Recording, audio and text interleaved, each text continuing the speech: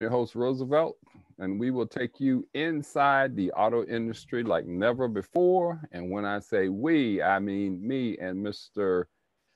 Dave Avote, Tex Garage. That's txgarage.com. He has moved from Reston to Herndon, Virginia, hanging out in Herndon. We have Mr. Frank Washington hanging out in Detroit about that car.com. In Atlanta, we have two of our panelists, Mr. Greg Morrison, Bumper to Bumper TV, and our PhD, Steve, talking about Steve, Chris Lawrence, autoacademics.com. Thank you for tuning in to our live show, or if you're watching this on the on demand. Thank you for watching on demand. I'm Roosevelt, your host. As I said, we will take you inside the auto industry. Okay, you can find us on several places. You can find us on blackpressusa.com. We provide the automotive content. When I say we, the journals, most of the journalists that you see here in the video panel. We, you can also find us on autonetwork.com. Go there and please subscribe. And be sure and visit the website of each one of the panelists. I say this each week. We cover the auto industry. We drive some of the same cars, but we all have our different opinions and we put our twist on the information itself. Also, if you know an African American male that's over 30 years old, please make sure that he gets his prostate exam. I always say it's just a little prick the one that could possibly save his life. So, got that out of the way. Okay, Greg, try your audio again. nope. Ah. Go out and come back in and see if that'll take care of it. Or reboot your computer, one both. That might that might help. But anyway, we're going to talk a little bit about cars. That's what we do. We're going to talk about what are we driving this week or what we drove last week and do something that I started new last week is why buy or not. So when when the panelist talks a little bit about what they're currently in, we'll find out whether it's a buy or not. But let's get into uh, a little news that I missed last week. It's getting old getting stale on me. NADA convention was last week. One of the things that came out of it, FCA has uh, decided that they're going to have more minority auto dealers, something that they're going to focus on for 2020. And somebody else did something of importance. If I can find my notes here, where are my notes?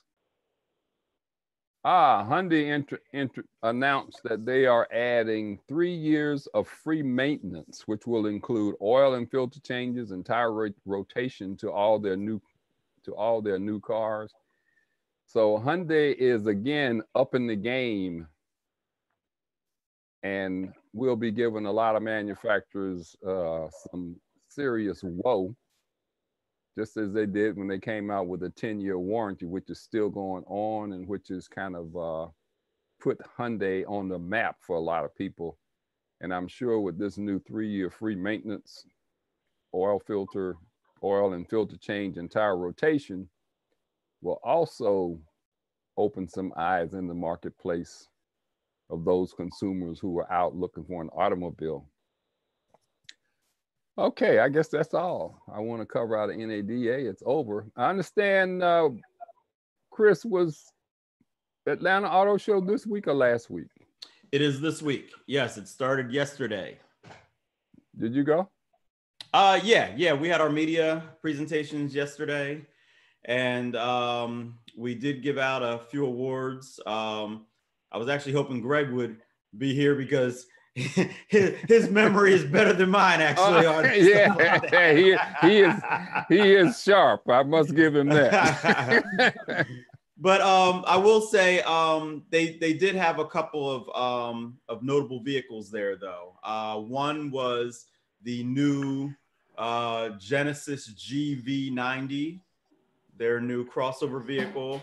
It is a very very nice looking vehicle. Um, obviously this was a pre-production unit that they had at the show, but um, I mean, it, it looked fantastic. Um, it actually ended up winning best luxury car at the show. Um, we also had uh, the best green vehicle ended up being the Ford Mustang Mach E. Hmm. Um, I do have to say that looked much nicer in person than um, than it does in pictures. I find it um, interesting that they give these awards to cars that are not in production yet. but anyway, well, it's it's it's cars that are at the show. Um, yeah. and uh, so yeah, so basically, as long as the car is present at the show, then it can receive an award. Um, and then, as you know, uh, uh, the Greater Atlanta Automotive Media Association, we have our family car challenge that we do later on in the year, and that that is for cars that are actually, you know, cars that are on the market. But um, so yeah, so the Ford Mach-E uh, got voted best green vehicle. Um, bang for your buck was the Hyundai Venue. Um, the I, I, it's got a starting price of like seventeen thousand dollars, and um, you know comes very well equipped with all the all of Hyundai's safety basic safety suite features, as well as Android Auto and Apple CarPlay, and you get all that for seventeen thousand dollars. So um, that was uh, that one of those winners. Uh, the Chevrolet Corvette was there, the C8. That won Best Performance Vehicle.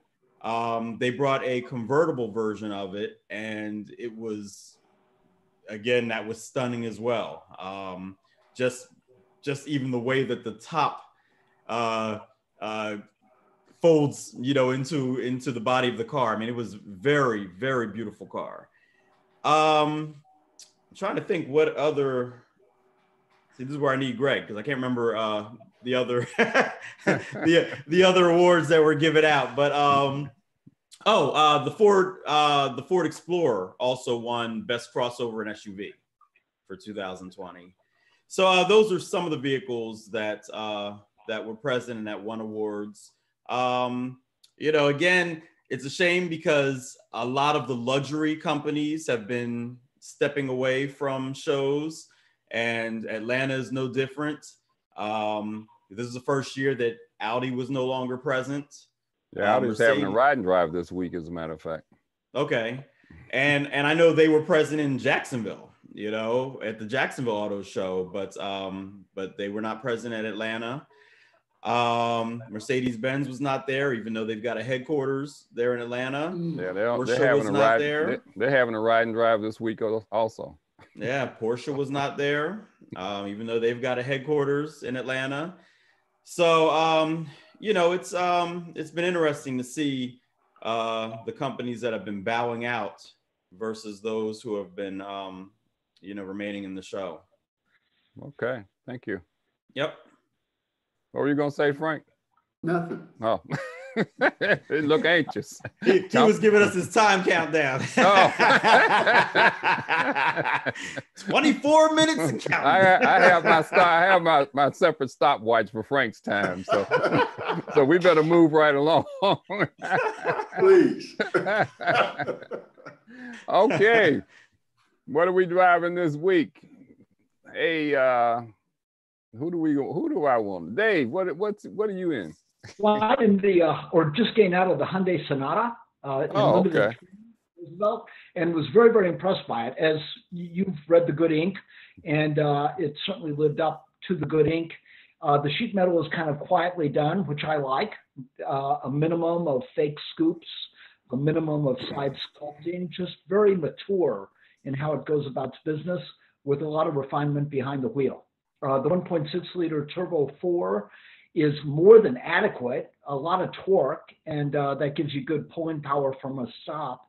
Uh, there's talk of a more performance oriented version later in the year called the N line, which they've done on some other models.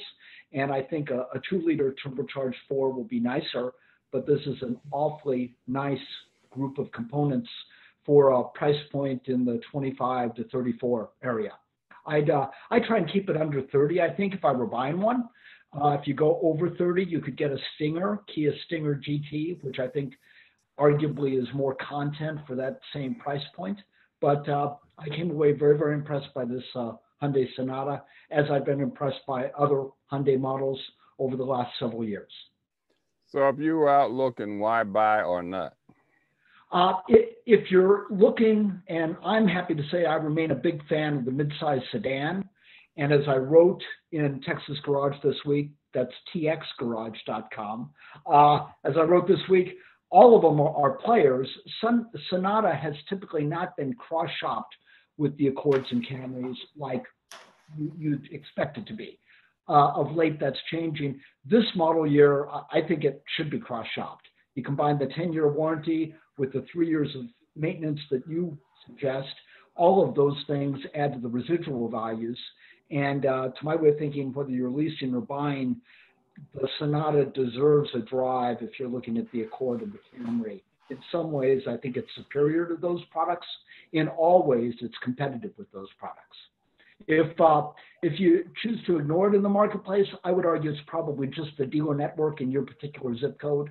Uh, in some cases, there are going to be an equal number of Hyundai dealers to Honda and Toyota. In a lot of cases, there may not be. So I probably look at that as the deciding factor. Who do I like to deal with? Okay. Chris, how about you?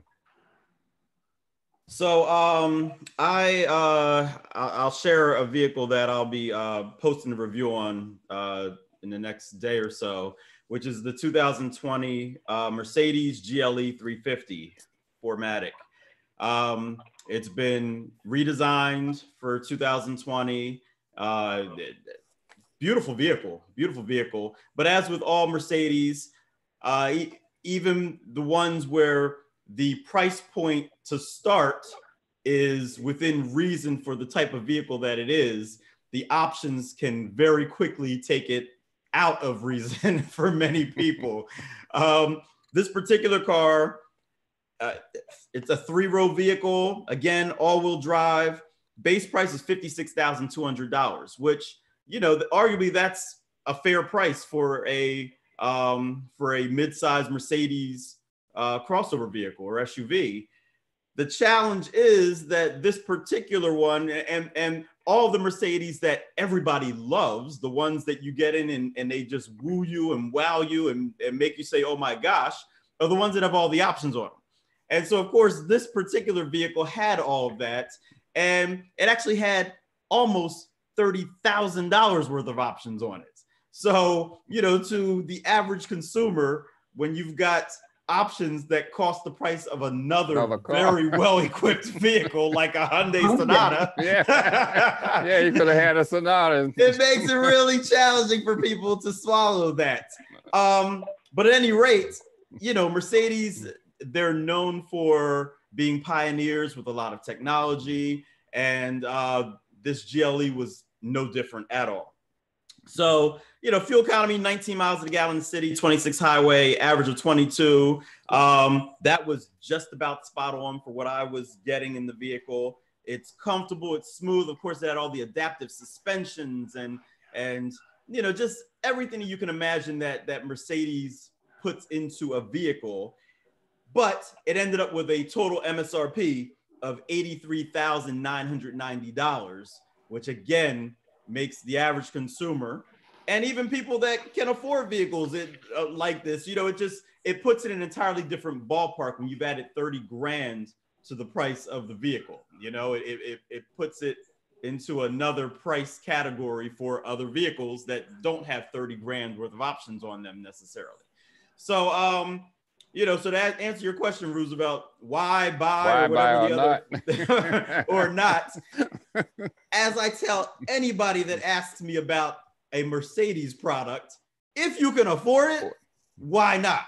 You know, because it's a great vehicle. The challenge that most people run into is that a lot of times, even if they can afford the price of entry, they can't afford the price of ownership with a vehicle like that. That's where the challenge comes in. And so for people like that, I say there are a lot of other vehicles out there that you can afford the entire price of ownership. But if you can afford that Mercedes GLE, it is a very nice vehicle, and I have no problems recommending it. Yeah, we, we mentioned that last week, and I think Dave made a very valid point. You know, buy buy what you need, not what you want. And a, and a lot of people get in the income level, even with two households, and they figure, well, you know, we make 150, 200,000 dollars a year. That doesn't put you in that Mercedes that Chris was just talking about. I mean, it, the payment for that thing is not gonna is not going to uh, give you extra money to play with and like you said chris to be able to actually own it. Uh, you'll spend more time trying to scrape your pennies together to uh, take it in for its first service appointment. Mm-hmm. yeah gets very expensive very quickly you know? Yep two thousand dollars here, another fifteen hundred there. You know, you're like, whoa, wait a minute, but I just paid this much for the yeah. car, and I have to fill it up this week. That's right. That's right. Greg, you want to try your audio again? Nope. I don't know what's happening. Anyway, we don't we don't have closed caption either, so we can't help Greg. Greg will, Greg will be a listener today. okay, Frank, how about you? What are you in? Excuse me, I'm uh, I'm actually in a throwback. Uh, Go ahead. I've got a Toyota Sienna minivan. Oh, my kind of car. Yeah, yeah. Uh, you know, it's it's it's a, it's an interesting thing. It's a very practical car for what it does you know, because you can't call it a truck, you can't call it a car. It's a minivan, you know. And for for, for uh, those who wish to be snagged, it's a it's a small bus. Uh, but, but, this particular vehicle is, you know, it, it's very practical. It handles uh, uh, seven passengers with no problem whatsoever. If you put a bench seat in the uh, second row, I'm not sure that those are available, it can handle eight passengers. Uh, uh, I was surprised at the horsepower. It had like 290, uh, 293 horsepower V6. It had, uh, what am I thinking, an eight speed automatic transmission. Uh, it was nicely done. Uh, it had, you know, uh, what Toyota has this, this material called NutriBullet or Nutri something. and it's leather like, but it's not leather. And this was clearly this particular material, which was smooth, soft, supple, much like leather, uh, but it was very practical. Uh, it had a moon roof. Uh, uh, what am I thinking? Uh, push button start stop. Not so much push button start stop. Push button unlock and lock on all the doors, which is saying something. Just kind of pull the handle and even the sliding doors will open. And what I thought very interesting is that the uh, side windows on the sliding doors actually went down. Uh, because, uh, you know, as you know, it's really cold here. So I mistakenly pushed the wrong button and the window went down. And I quickly pushed it and the window went back up. oh. So, so to your uh, to your basic question, uh, to the, to the new facet of would you buy or not, uh, the thing about it is, is that uh, if you've got two or more children, meaning if you've got three kids, then yeah, uh, I would buy it. Uh, but if you've got less than three kids, you can get you can get I would think a, a crossover uh, with all the same functions on it for probably twenty thousand dollars less, uh, or at least fifteen, because this vehicle was forty five thousand dollars. And the thing about the uh, minivans is that, in my view, minivans replaced station wagons. Now crossovers have replaced minivans and it didn't replace them with what uh, you would think across the board of better vehicles. It replaced them because the vehicle itself said something about the owner that the owners didn't like. Basically, that they were boring. Uh, they, they, they, they, all they did was drive around their kids, and they had no lives. So, and you you're a parent and a grandparent, and you don't disagree with that? Oh, Greg, Greg, we can hear you, Greg. Go on, go on, dude. So anyway, anyway, uh, but yeah, like I said, depending on where you are in your life, uh, if you've got three kids, it's not a bad buy. Well, you sold me when you when you said Toyota Sienna minivan. even even without young kids, I would still own a minivan, and I do not think crossovers replaced minivans, or they're trying to replace minivans. I don't think crossovers have anywhere near the functionality of a minivan. Oh, they don't, but they Yeah. certainly replace them, I think. I well, they they want to, but I think they missed the boat. But anyway, we have Mr. Greg Morrison, Bumper to Bumper TV, Formerly known some- as Whispers. yeah, we, yeah, we had some we had some technical issues, but he managed somehow to uh, figure it out. Got his audio. Okay, Yeah. Greg, what are you in? Uh, oh, before you came on, we were Chris was talking about the Atlanta Auto Show, and he needed your brain power to remember because he could only remember two cars, and he said you had us. I remember more than two. You gotta give me at least a little credit there. In Chris's defense, he was leaving the board of directors of the, the Greater Atlanta Automotive Media Association as a media past president. So he's just trying to clear his head of all of that so he can think free Oh, for okay. a change. Because he said, he said, this is why I need Greg. I That's said, okay, right. Gre- okay, Greg, add a little bit to uh, what you thought about. What did you think about the Atlanta Auto Show? Uh, the Atlanta Auto Show is not like New York or Detroit or LA. It's more of a consumer show. And uh, when we judged what made the most sense this year, there were some interesting uh, discussions. In fact, there's, I think, a blood stain left on the carpet where we were fighting. Uh, but uh, for example, the best crossover SUV was the Ford Explorer. The best green vehicle was the Ford Mustang Mach E. The best luxury, the Genesis GV80, which surprised a lot of folks. Best bang for the buck. Chris, Chris bumped it up to GV90, but I didn't. I didn't. It's an wanna 80. I didn't want to correct him, but go ahead. Uh, best, we have a segment, value segment called Best Bang for the Buck, and then this year it was the uh, Hyundai Venue, starting at 17,250, uh, 17,350. I stand corrected. Uh, judge's choice, the one that sort of made all the judges go, "Wow," was the GMC Yukon Denali, uh, reskinned, really redone beautifully, just sort of took everyone's breath away. And the performance, the Corvette C8 Stingray convertible. There was a little discussion, but no one could argue with the Corvette this year. So how's that from memory, Chris? That was very good. I had missed Judge's choice.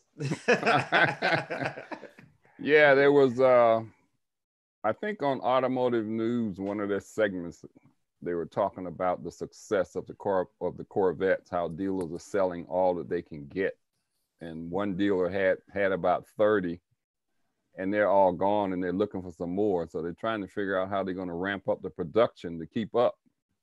Second shift is one of those things. Yeah, Yeah, Yeah. yeah, but you know I don't, I don't think they had a second shift at Bowling Green for what, 15, 20 years? yeah. Since like the that. '80s, they said. I think it was something like that. Yeah. yeah, that's a good problem for GM to have right now. Right. Mm. You know, you know. As for what I'm driving this week, I'm also in a small bus. It's the uh, Chrysler Pacifica Hybrid. uh, this seats one, two, three, four, uh, seven passengers. Uh, and what I like about this is the fact that it's a hybrid. On Tuesday, I drove from Atlanta to Athens, Georgia, which is 70 miles away, back to Atlanta, and ran some other errands and burned less than a quarter tank of fuel in a minivan. So that that alone really made it worth. And this one's at fifty thousand dollars, fully loaded with all the bells and whistles, including entertainment systems, very nice leather seats, uh, power doors and windows, and all. Uh, but at fifty thousand dollars, it does make you take a second go, "Whoa, have we lost our minds in terms of minivans?" Because those of us who can remember when minivans first launched, they were as affordable as a compact. Uh, not anymore. And uh, as we talk about, like Frank with the uh, Sienna, these things are coming fully loaded uh, and they're functional and they can run all day. Because I've yet to see anybody really hate the minivan for the mechanical parts. It gets them from point A to point B, takes the entire family, sometimes the church choir, with them and no problems. So uh, I will give Chrysler big uh, credit for developing a hybrid platform that actually gets very good fuel economy. I did the math on the one I was driving. I was averaging about 44 miles to the gallon, which is very good. And won't that, won't that qualify for something of the federal tax credit, Greg? No, it does not. No, no tax credit. No tax credit for, for hybrids. Now, if it was pure electric, it would qualify for a $7,500 federal tax break. Well, I'm thinking right. plug-in hybrids do get a portion, a percentage of that. But I may be wrong also. Yeah, well, we have to go call our accountants and ask. And they still maintain the stow and go feature, right, Greg? Stow and go is still there. Um, a lot of function, a lot of good design features and cues in the vehicle. Uh, and one of the things I enjoyed was what I call the hip point. I'm five feet nine inches tall, and when I open the door, I can just sit right in there, swing my legs in, and off I go. Uh, and if you think about it, minivans are not just for families with young children, but often families with older parents who you're trying to move around. And can you get grandma and granddad and great grandma and great granddad in and out of this vehicle without a hassle? Uh, I'm seeing a lot of them being used by families who have relatives who are using wheelchairs or walkers. So there, there does have that uh, feature that makes it very attractive. And let's face it, you get it on the open road, it's relatively quiet. Uh, you entertain the folks in the back seat with the movie, you just keep rolling down the highway. Yeah, you don't have to sell me on minivans. I'm telling you, that's one of my favorite vehicles. It's just there's just too much functionality in it. I mean, it can be a it can be a pickup truck. I mean, yeah, it can be you, your living quarters. Exactly. You name it, it can. You push a button or drop a seat, and that's what it is. Yeah, and I'm going to go back to the days of the vans from the '70s, which were basically rolling party machines, and now, now look at what you know minivans have evolved into.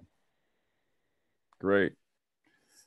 Okay, you all have been been talking about. Uh, let me turn this audio down here on what I'm trying to play. But you've been talking a little bit about the what's that car? The Honda Venue as being what Best Buy or something like that. Best bang for the buck. Best bang for the buck. Well, somewhere on here I have it if I can find it, but I don't see it. Ah, maybe it, where did it go? Maybe it broke with my audio. No, there it is. but anyway, what I'm driving this week is the 2020 Hyundai Venue, the SEL. It's a crossover, 1.6 liter four cylinder engine, 121 horsepower, 113 pound feet of torque. It has what they call intelligent variable transmission or CVT. Exterior color, galactic gray, interior gray on gray. Gets 30 miles per gallon, city, 34 highway, 32 combined. MSRP, 23,280 bucks. And overall, I like this little car. It, it has a lot of storage space. You know, you drop the second row seats, it's flat, you get a lot of storage space. And with that high roof line, you can put in some, you know, some pretty good size boxes if you happen to be moving boxes. And like Greg was talking about, the point of entry, when you open the door, you can pretty much slide right into it. You're not trying to jump up or to get into it using grab bars or anything like that. To me, it has pretty good fuel e economy for, for its size. Now, a couple things that I found that I didn't particularly care for was it had a lot of cabin noise for me. It was uh, kind of noisy. And if you accelerated, the engine was under a strain. I think they could have maybe put a 1.8 or something like that in it versus a 1.6 or 2.0 to uh, improve its overall, to me, the overall performance. But once you got it up and running, it would run. But like I said, when you try to accelerate, it was the engine was was really noisy. The why or buy, if I were in the market for a car of this size, I think it would be a good buy at $23,000. You get, again, a lot of equipment. It is a Hyundai. Hyundai does not skimp on equipment. You know, you get your lane departure, you get electronic stability control, all the things that you would find in these expensive packages that Chris was talking about, I think on the Mercedes. A lot of those, a lot of that equipment on a Hyundai is uh, it's standard equipment. So I think it's a, a nice looking automobile. And I came out of the gym today, Frank. I did. I do go to the gym, Frank. I don't talk about it a lot, but I go to the gym. and I came out of the gym, and where I normally park, there was a same color gray car I said, man, somebody must have gotten a venue. I walked over and looked at it. It was a Jeep Renegade. It looked just like it, looked, it looked just like the venue. Unbelievable. What do you guys think? I had a chance to drive this thing uh, on a, an event, and yeah, the engine does strain at, at low speeds, getting up to speed, but, but 17,350 to enter, 23,000 fully dressed. Uh, that's the price of a nice used car, and it's a brand new vehicle. And you know, for folks who are either buying that first car for their kids to go to high school or college with, or someone just starting out, it's not a bad investment. Is it luxurious? No. Is it functional? Yes. And can you park it? Hell yes. you you could do an entire show, Roosevelt, and maybe you will. But it, what always strikes me when you do load these entry level cars up, and suddenly you're 23 versus 17, well, you could go get the Elantra Sport for about 23, which has the performance you're seeking, or you can get an Elantra GT, the five door hatchback, which has a lot more performance for about 25. And I know all of that's incremental and it all adds to a monthly payment. But to my way of thinking, the Hyundai Venues and the Nissan Kicks are great arguments at their entry point. Don't load them up. Buy the $18,000 Hyundai Venue or Kicks Nissan at some of those other alternatives with more power, uh, more responsiveness, potentially more utility because they're bigger, but maybe they don't have all the luxuries that have been added to that venue. That's my thought. Good thought. I'm with you, Dave. That's what I do. Yeah. I'm taking a lot of sport any day over. and, and, and Dave, and Dave, ask him what's he driving. it's a GLE. I don't know how it is that every week Chris is in a Mercedes and I'm in the entry level something, you know? Yeah, they don't support the auto show down there, but they give Chris all the cars. That's why they're not at the auto show. Yeah, I, I saw him in the GT. I said, wait a minute, I can't even get one. well, no, you have to understand. Chris knows how to work the fleet manager. No, uh, it's not know. the fleet manager. It took a lot of years to get to those cars. I had to go around the fleet manager. but it, you know, uh, the Atlanta market is interesting because Mercedes is usually is headquartered here, so is Porsche, but neither one yeah. of them playing the Atlanta Auto Show. Uh, yeah. They're selling cars elsewhere, and they're just going to keep on doing what they do. Well, that's why they make the big bucks when they make all those make all those kinds of decisions.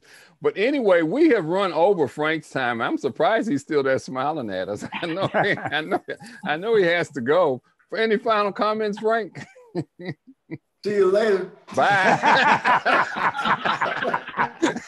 I knew that was I knew that was coming. Anyway, I want to thank you guys for taking the time out of your busy schedule to sit in on and talk about something that we love, the auto industry and cars. I want to thank those who are watching the live broadcast and also those who watch this on demand. Be sure and visit the panelists' websites to get more information on the products that they drive. And I'm sure they have a lot more than what we just talk about every week. We try to at least cover what we've driven the previous week. And most of us, we're unfortunately, we're in a new car just about every week. What can I say? Somebody has to do it, and it's a dirty job, but it would be us. so as always, please buckle up, don't drink and drive. Buckle up, don't text and drive. And as Frank says, buckle up, don't stream and drive. See you next time. Take care, everyone. Bye, everybody. Bye. Bye bye.